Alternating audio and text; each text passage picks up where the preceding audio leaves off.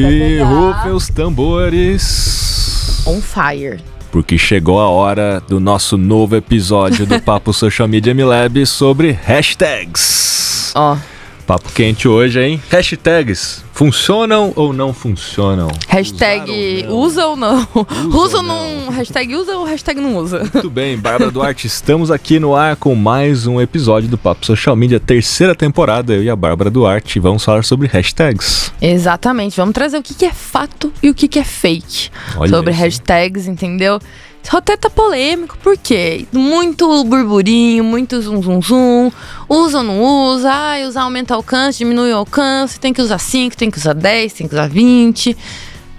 Vamos derrubar aí todas essas dúvidas da galera, ou talvez até colocar mais questões para elas pensarem, né? Vamos ver até o decorrer do episódio o que, que a gente vai conseguir trazer aqui. Então, gostaria de começar perguntando para você, ou melhor, pedindo a sua explicação, nosso mestre dos dados e informações, o que, que de fato são as hashtags. Além, é lógico, do óbvio, né? Do sinalzinho ali do jogo da velha, que a, a galera usa junto com alguma O- outra palavra. Pra que, que O serve? nome técnico disso não é sustenido? Putz. lá, aí depois o- os universitários coloquem nos comentários. aí. É porque a gente sempre fala de jogo E da velha. jogo da velha, né? É. Vamos fazer uma definição aqui mais clara, né? Eu acho que é o sustenido. Mas, enfim, as hashtags, na prática, elas são links. Elas são links que unem e agrupam assuntos. Então você tem isso. Isso começou no próprio HTML, quando você tinha lá, depois no Twitter.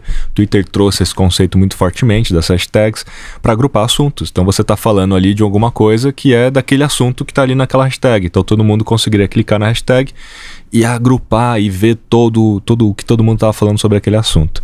Aí o Twitter veio e colocou o que estava em alta, né? Os, os assuntos do momento, os trending Trend topics. topics. E que, por essência, eram hashtags em alta. Então, tudo começou nessa história aí. E a, e a- e a ideia dela é essa, é agrupar assuntos. Agrupar assuntos. Só que a gente pode evoluir essa história das hashtags para as outras plataformas de mídias sociais. Então, as hashtags, no caso do, do TikTok, também agrupam assuntos. Mas, se a gente olhar na prática, muitas das, eh, das hashtags, na verdade, são comunidades. Então, pega a hashtag BookTok Brasil. É uma comunidade das pessoas que fazem avaliações, reviews de livros e usam aquela hashtag porque eles, aquela hashtag é da comunidade, tá todo mundo contribuindo para uma comunidade. Comunidade pressupõe contribuição, colaboração. Então funciona. Aí você tem a hashtag empreendedorismo. É um assunto, mas ao mesmo tempo é da tribo lá, empreendedorismo feminino, é da tribo da galera que quer falar sobre aquele assunto. Então é uma comunidade, se reúne pessoas ali em torno daquele assunto. No caso do Instagram, vai servir para os dois lados, vai servir tanto para agrupar assuntos, também poderia você poderia encarar como certas comunidades. No caso da de algumas outras plataformas, mas também essencialmente no TikTok, a gente falou até no episódio de trends, né? As hashtags elas podem representar muito aquilo que está em alta.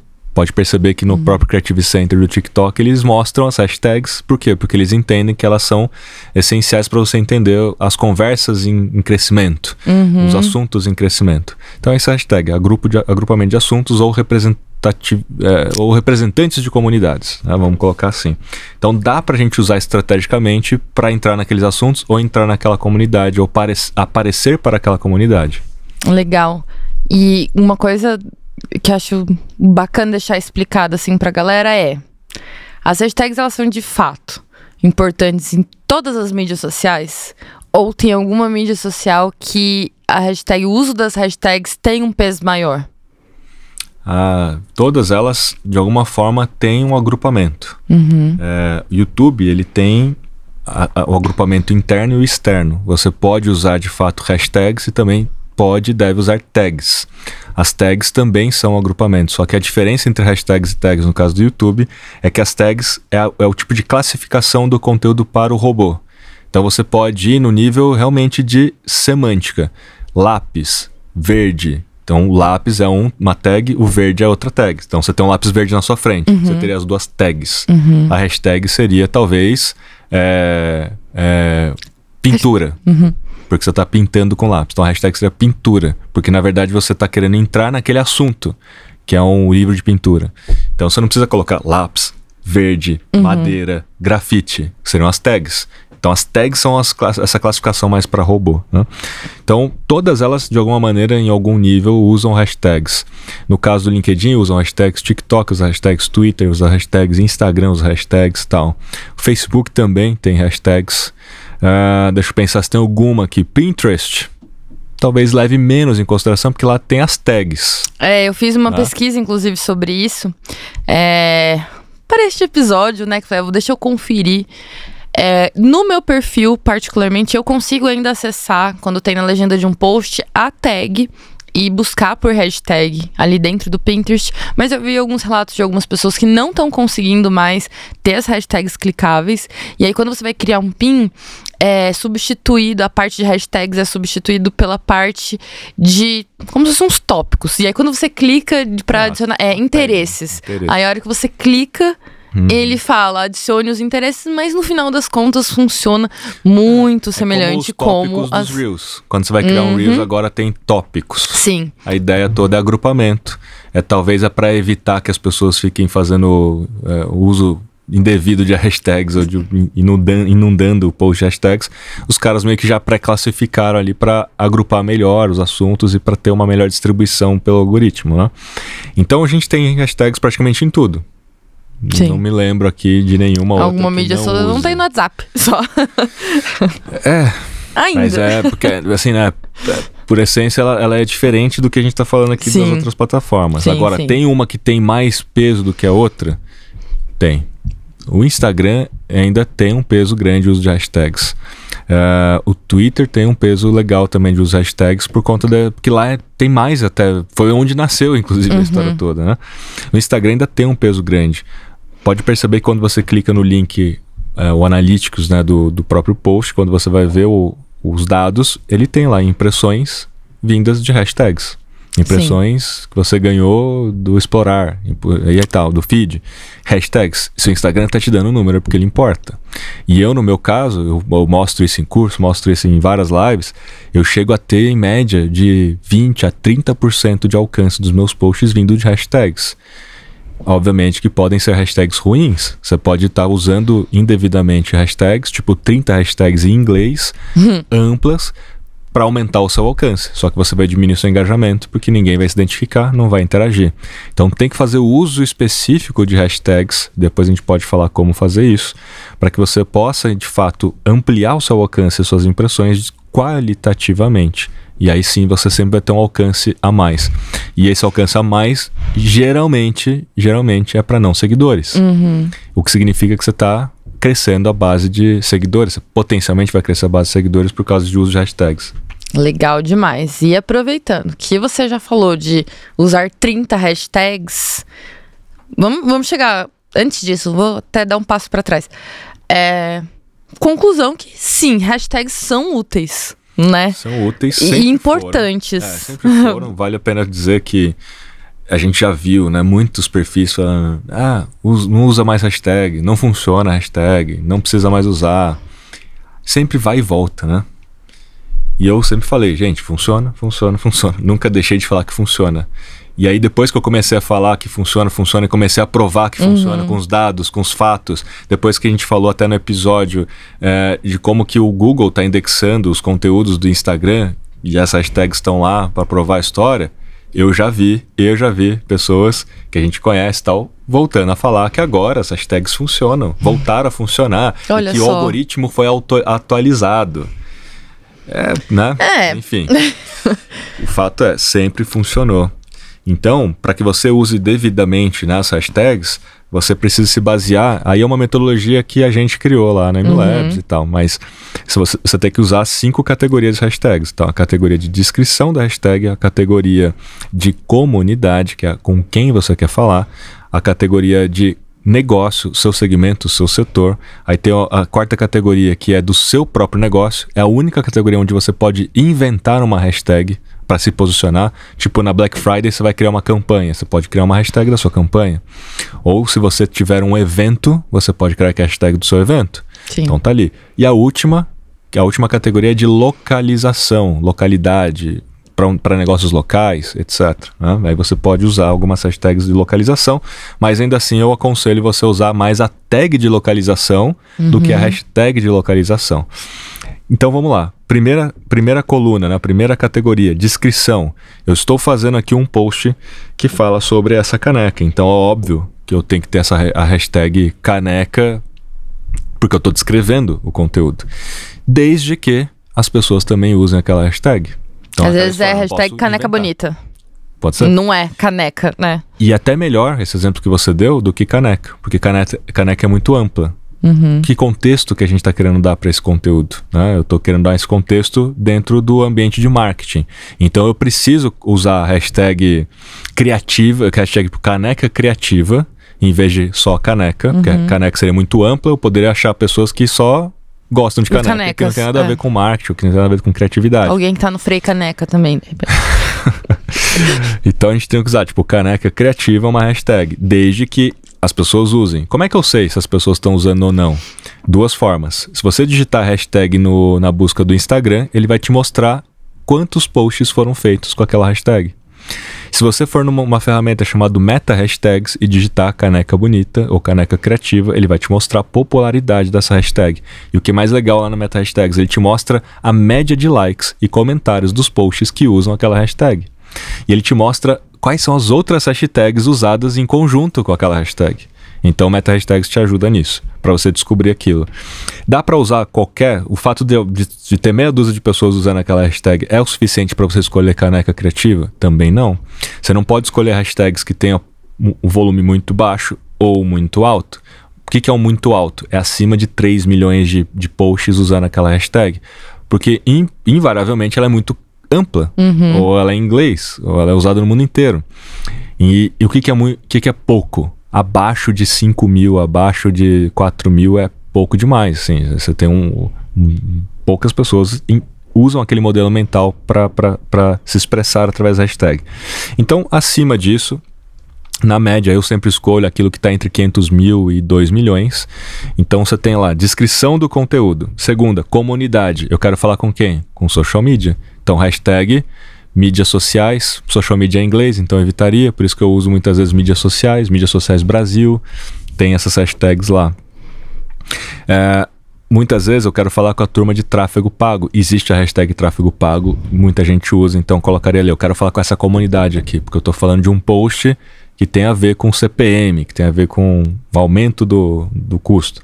Aí tem a terceira coluna que é de segmento setor, marketing digital, Tá, tá claro, no nosso caso tá claro. Marketing digital. Uhum. Qual é o seu negócio? Você vai lá procurar. Digite em português. Aí depois tem a de negócio mesmo, o posicionamento do negócio. Vai usar, vale usar a, hashtag do nome da empresa? Hashtag MLabs? Não, não vale usar. Não precisa, você já está no seu perfil. Outras pessoas podem usar a hashtag MLabs para referenciar que estão usando MLabs. Mas, mas talvez pode ser uma forma de você até estimular as pessoas a usarem aquela hashtag, é. mas mesmo assim não é o melhor caminho, né? Então você pode ter uma campanha, você pode ter um posicionamento. Um hotel, por exemplo, é um hotel que tem um posicionamento de luxo da simplicidade. Você pode criar uma hashtag, luxo da simplicidade. Coloca lá e tal. A galera usa? Não. Mas quando ela olha ela tá posicionando aquilo que você quer. E tá Sim. tudo bem, porque é uma só dentre várias. Uhum. E aí você tem de localidade. Na localidade, como eu falei, você pode usar tag de localização, mas vamos supor que você seja uma loja de roupa numa cidade X. Uma loja de roupa pra galera tipo classe A, vai. Você pode colocar o nome da cidade como hashtag? É melhor que não, porque ela é ampla, certo? É o mesmo conceito, ela é ampla. Você pode colocar qual tag de localização? A cidade ou o endereço do seu negócio? É melhor o endereço do seu negócio. Uhum. Porque as pessoas, como você já citou em um episódio, você coloca o PIN ali e vê o que, que tem sobre aquele negócio, aquele local. Sim. E qual hashtag então você poderia colocar como localização? Estrategicamente, você pode colocar o nome de um bairro onde as pessoas de classe A moram.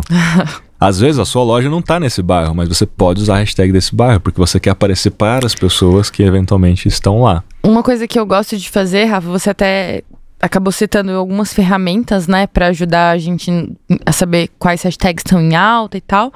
Mas eu gosto de, além de contar com a ajuda das ferramentas, fazer depois como se fosse um segundo check ali para ver se são aquelas que a ferramenta me sugeriu mesmo. E eu entro e vejo que que tá em, quais foram as últimas publicações nessa hashtag?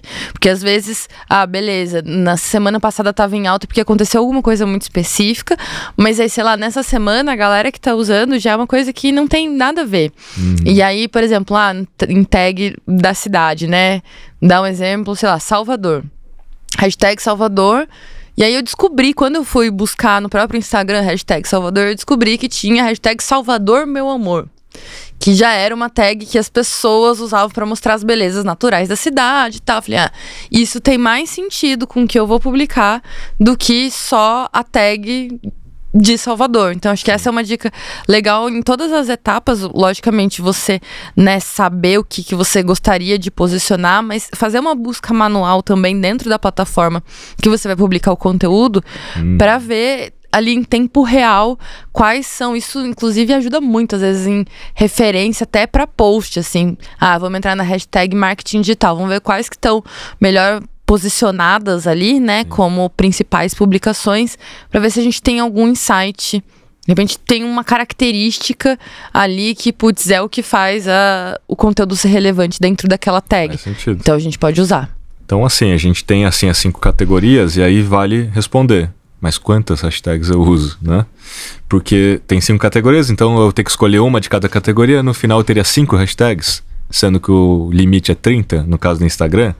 Não, você pode usar inclusive 30, desde que você siga essa lógica. Se você seguir essa lógica e usar as 30, você vai potencializar ainda mais. Mas eu já tentei. Uhum. É difícil você conseguir chegar a 30 de forma relevante. 30 boas. 30 boas de forma relevante. Você começa a tentar inventar, colocar hashtags mais amplos que vai te trazer gente desqualificada. Então, não precisa, você coloca aquilo que é suficiente para descrever, para se conectar à sua comunidade, para colocar o seu setor e tal. Vai dar ali em torno, no meu caso, sempre dá em torno de 13, 14, nunca passa mais ou menos dessa quantidade. Então fico ali nesse, nesse limite. Não é uma regra. É uhum. isso que é uhum. importante as pessoas entenderem. Não há uma regra de quantas hashtags. Sabendo do limite, você pode fazer quanto você quiser, desde que você siga essa lógica. E aí o que vai acontecer? Você vai alcançar mais pessoas. Você vai começar a perceber que você alcança mais pessoas. E se você escolher bem as hashtags, você alcançar pessoas que potencialmente vão gostar daquele seu conteúdo, vão te seguir. E você vai ver que na pizza de seguidores e não seguidores, o não seguidores, o número sempre vai estar muito próximo do número das impressões e hashtags. Uhum. Ah, alcancei 5 não, 5 mil não seguidores. Você vai ver que nas hashtags está tipo 5 mil e pouco também. É muito, sempre muito próximo. Né? Então funciona, é importante usar. No caso do LinkedIn, existe sim um pouco mais de preocupação com esse limite. O próprio blog de engenharia do LinkedIn já, já trouxe, né, falando sobre o uso de três hashtags, que é mais interessante do que usar muitas hashtags. Eles levam muito mais em consideração as três primeiras, inclusive a ordem importa a primeira hashtag, a segunda e a terceira. Então a primeira tem mais peso, a segunda tem menos peso, a terceira tem menos peso que a segunda. E lá não tem tanto problema de você usar uma hashtag em inglês por conta do comportamento do público uhum. mesmo no LinkedIn. Porque, porque é mais multilingüe mesmo, tá todo mundo falando. Tipo, marketing digital. Uhum, o pessoal marketing, usa mais termos, né? Mais termos, né? Então funciona. Não precisa passar de três. No TikTok a gente já falou, um, um, ponto importante do TikTok é que o TikTok é uma das un... é, é, a única, na verdade, plataforma, é a única plataforma que permite você fazer campanhas usando hashtag como segmentação. Olha só. Por que, que eu pensei um pouco direito? Porque o, o, próprio Twitter permite você patrocinar as trend topics, que de alguma maneira é uma hashtag. É, então tem é ali é uma, uma tag, coisa. Mas, é. é, mas, mas o caso do TikTok, ele permite você segmentar usando hashtag. É igual você segmentar por interesses. Você pode colocar uma hashtag como parte da segmentação. Isso é muito bom. Então o TikTok tem esse destaque aí nesse sentido. Legal. No YouTube existem recomendações. Eu, na verdade, eu tô perguntando, mas eu fiz uma colinha aqui, ah. porque assim, existem recomendações, né? Assim, não, não existe uma regra. Eu acho que uma coisa que vale muito é testar, de fato, em todas as mídias sociais. É, lá na MLabs é uma coisa que a gente é, tem essa prática muito viva ali. Então, de tempos em tempos, a gente revisita as hashtags ali, os, as categorias, para ver se aquela hashtag ainda faz sentido, não faz. Então, hashtags ali por categorias e por mídias sociais também, porque a hashtag que tem alta, ou que é, faz sentido pro Instagram, não faz sentido pro LinkedIn. Então, é, é importante a gente ter essa diferenciação, né? Uhum. E aí você falou do LinkedIn, né? De até, até três, principalmente. TikTok. Instagram, TikTok. Facebook, ainda tem pessoas que usam Facebook, Rafa. É, não, mas vamos falar de YouTube, que acho que a gente ganha mais tempo. aqui. O YouTube tem algumas técnicas, dá pra você usar hashtag no título.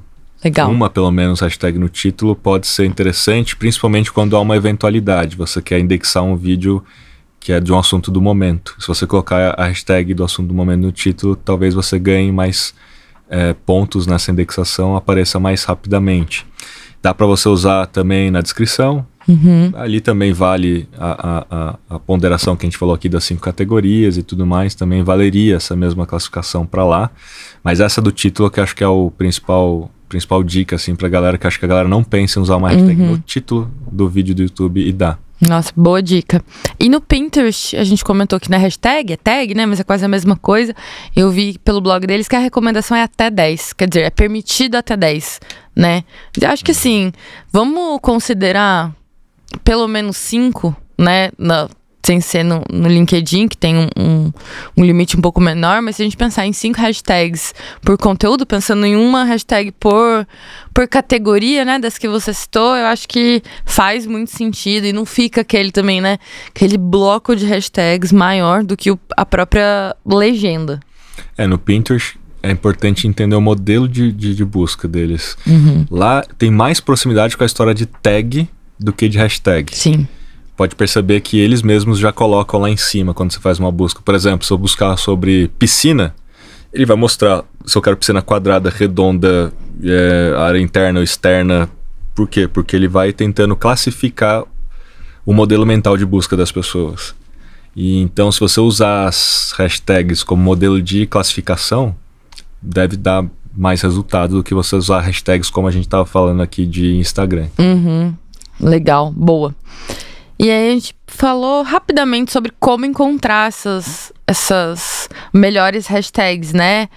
É, você tinha citado O Creative do TikTok. do TikTok Center, né? Center, mas tem outras também pensando ali Meta no hashtags, meta hashtags. IQ hashtags, que é o IQ hashtags, também Boa. outra ferramenta legal. É, e o próprio Instagram, se você usar o buscador do Instagram, às vezes você vai lá e chuta. Fala, ah, será que existe essa hashtag aqui? Vou colocar no Instagram, vou ver a popularidade dessa, dessa hashtag. E ele vai te mostrar os últimos posts, os mais relevantes, né? E os mais recentes. Então você também aprende com aquilo que está ali no mais relevante. Sim. Façam esse exercício, gente, que é muito legal. Por que, que eu ganho muitas visualizações de não seguidores nos meus posts vindo de hashtag? É porque eu apareci no feed de recomendação? Não. O feed de recomendação ele vai olhar muitas outras coisas. Mas eu ganho porque muitas vezes as pessoas navegam por hashtags e muitas vezes as pessoas vão olhar também o, a- o resultado de busca. Sim. E quando você digitar, pega qualquer últimos posts que eu fiz, pega uma hashtag e vai lá e, e- e- clica ou digita no, no, no, no Instagram. Você vai ver que invariavelmente os meus posts estão entre os mais relevantes. Em todas as hashtags que eu uso. Porque eu tenho consistência também.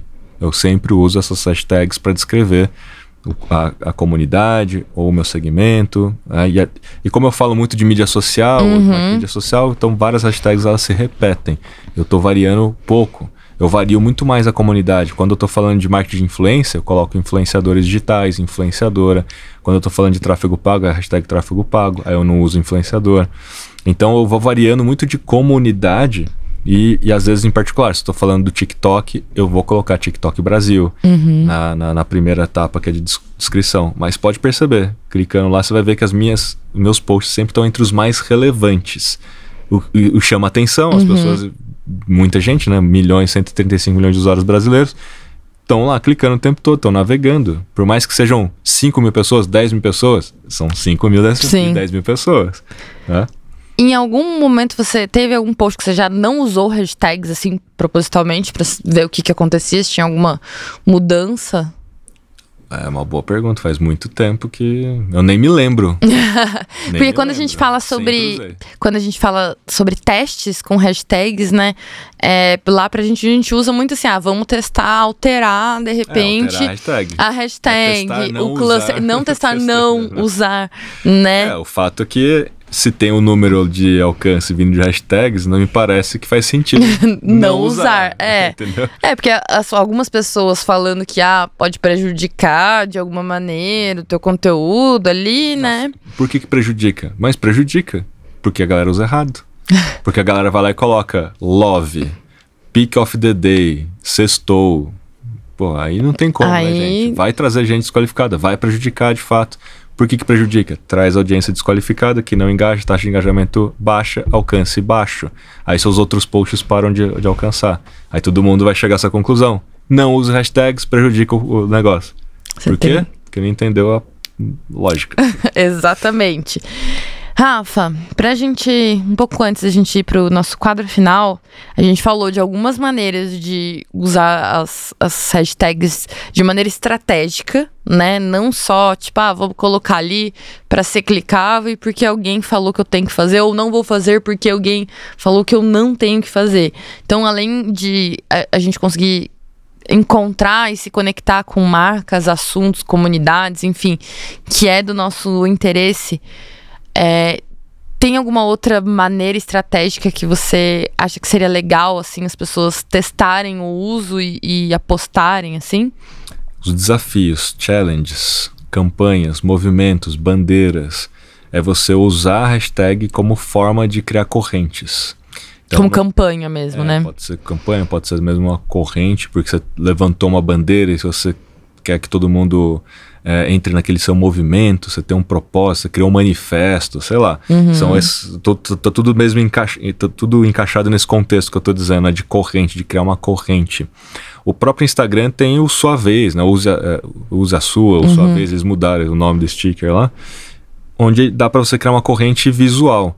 Mas você também pode criar uma corrente usando uma hashtag, onde todo mundo participa usando aquela mesma hashtag.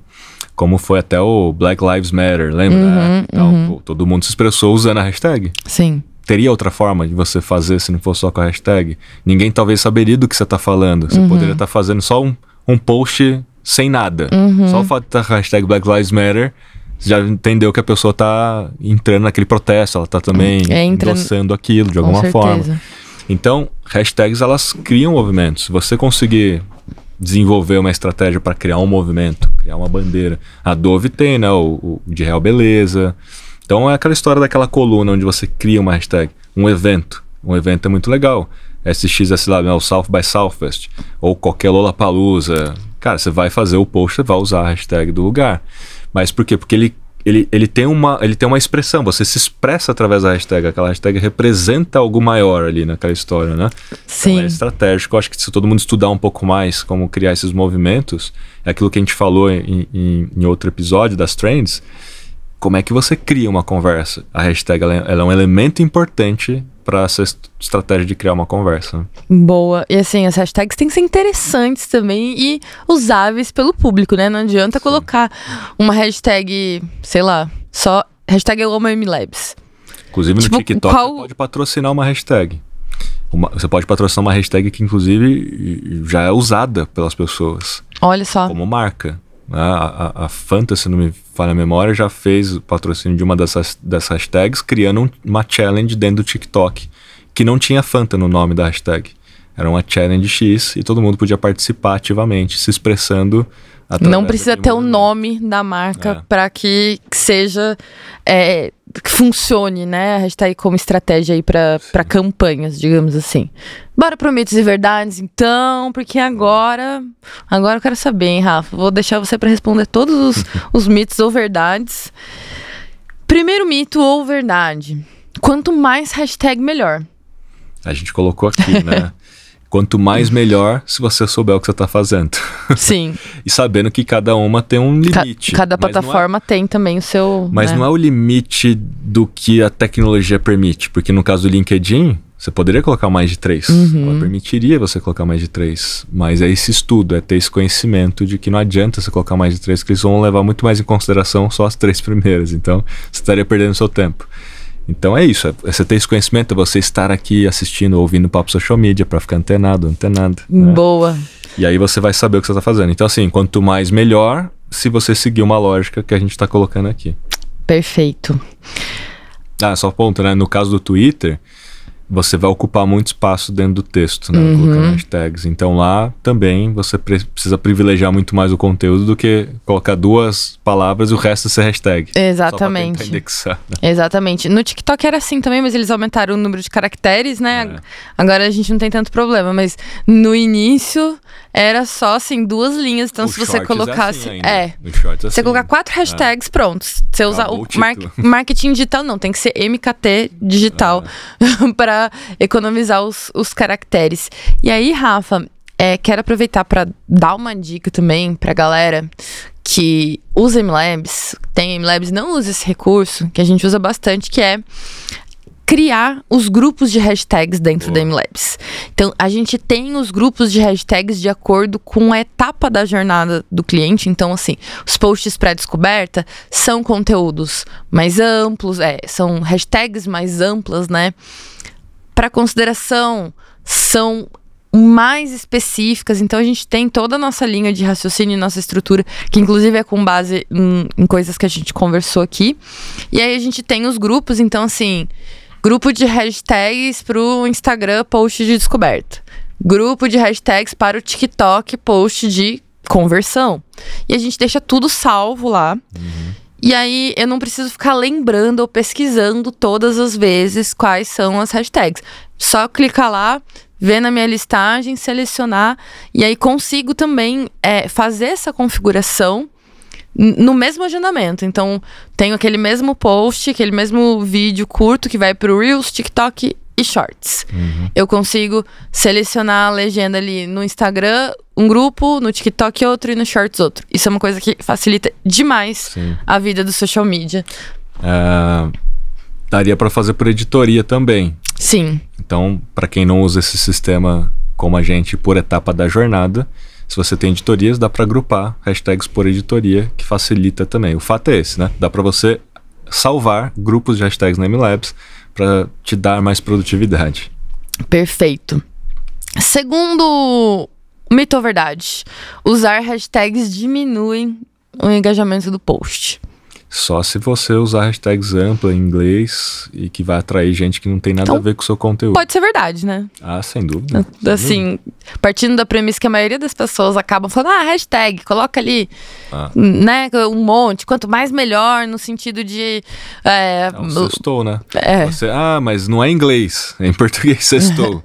mas, gente, que, que significa sextou, né, para o algoritmo? Ele vai Esse- entregar para qualquer pessoa esse negócio. esse é o terceiro mito ou verdade, que é: existem hashtags proibidas. O sextou já foi proibido, já não é mais. Mas ele foi proibido porque o, o- Instagram não entendia que aquilo era sextou de sexta-feira. Uhum. Entendia que era sex to you. Então, assim, não tá mais banido. Na própria ferramenta do Meta Hashtags, se você for lá e tal, e copiar suas hashtags e colar, lá eles têm uma ferramenta das hashtags banidas. Então, eles conseguem ler as suas hashtags e tirar as hashtags banidas. Também tem uma lista lá, se você quiser ler todas as hashtags banidas, dá pra ver. Não tá atualizada, porque o Sextou tá lá ainda como Sim. hashtag banida. Mas, querendo ou não, É, é, É é interessante. É interessante. Acho que de tempos em tempos eu. A gente também na MLabs, de tempos em tempos, a gente busca, assim, hashtags banidas e o nome da plataforma. É. E aí a gente consegue encontrar, busca a lista mais atualizada. E uma outra coisa que eu acabo fazendo, é o meu segundo check manual nesse sentido de hashtags, que é ver de fato se aquela hashtag tá banida ou não. Então, quando a gente entra dentro do Instagram, algumas vezes o próprio Instagram vai sinalizar ali, né? Falar, ó. Essa hashtag não possui publicações, ou ele até possui publicações, mas tipo assim, são quatro, cinco publicações e não bate o número de publicações com aquilo que é exibido na tela. Então é sinal que tem alguma coisa de errado ali com aquela hashtag. Então é, história importante ficar atento. Como a gente falou, você vai selecionar uma hashtag, você já parte do princípio que você vai ver a popularidade da hashtag Sim. na escolha. Então, poxa, não tem nem três, quatro Exatamente. hashtags, né, posts usando. Você dá. fala, não vou usar ou porque é blanina ou porque não é popular. Então, zero motivos pra usar. E com esse, eu falar esse mito derrubado, esse não é um mito derrubado, né? Realmente existem hashtags proibidas. Existe. Então, com esse mito enaltecido, que não é um mito, é uma verdade, encerramos mais um episódio do Papo Social Media.